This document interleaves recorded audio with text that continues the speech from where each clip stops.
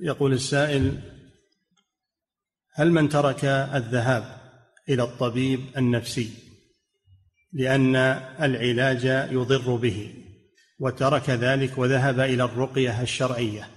هل في ما هل في ذلك مانع شرعا؟